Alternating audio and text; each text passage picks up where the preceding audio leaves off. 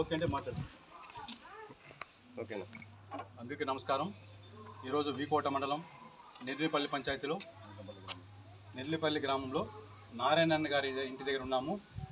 ఈ నారాయణన్ గారి విషయం ఏమంటే ఆయన కేవలం తెలుగుదేశం పార్టీని ఒకే ఒక కారణంతో ఇచ్చిన ఇల్లుని పట్టా ఇచ్చిన ఇల్లుని క్యాన్సిల్ చేశారు. ఆయన బాధ ఆయన ఆవేదన ఇంత అంతా కాదు.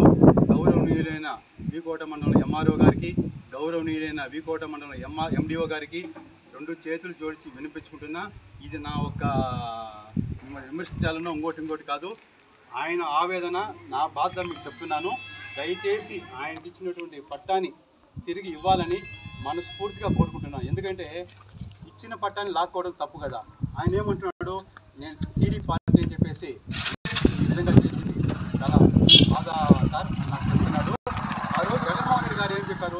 కులం చూడు మతం చూడు ప్రాంతం చూడు పార్టీని చూడు అన్నాడు. ఇదే విషయాన్ని నేను ఆయన చెప్పిన మాటలు మీ దృష్టికి తీసుకొస్తున్నా. దయచేసి ఆయనకు న్యాయం చేయాలా?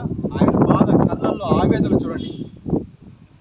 ఇదే విషయంగా నాయకులుగా చెప్తున్నా. నేను విమర్శించడానికి మీరు మాట్లాడలేదు. మిమ్మల్నే కానీ నాయకులే కానీ విమర్శించాలంటే చెత్తలు చెత్తలు కుప్పలు కుప్పలు గుట్లు గుట్లు ఉన్నాయి. కానీ నేను విమర్శించడానికి రాలేదు కాబట్టి నాయకులు కూడా జోడించి రెండు చేతులు జోడించి వేడుకున్నా. రండి. ఈ ఈ గ్రామానికి వచ్చి సందర్శించి అతను ఒక ఆవేద బాధని తీరుస్తారని కోరుకుంటూ దయచేసి జన ఆశీర్వాద యాత్రతో అనేక సమస్యలు వస్తున్నాయి. జన ఆశీర్వాదం యాత్ర ద్వారా బాధ కొంతమంది ఆవేదన మీకు మీ దృష్టికి తీసుకొస్తున్నాము. దీని మంచిగా నా ఒక మాటల్ని మంచిగా తీసుకొని మీకు ఈ సమస్యను తీరుస్తారని రెండు చేతులు జోడించి అధికారులకి నాయకులకి వేడుకుంటున్నాను గణేశాదన్ గారి నాయకత్వం! గణేశాదన్ గారి నాయకత్వం!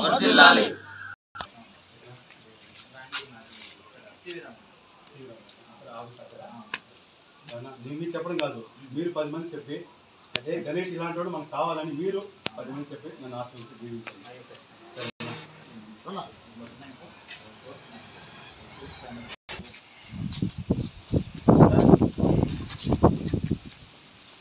谁赢了？把打谁赢了。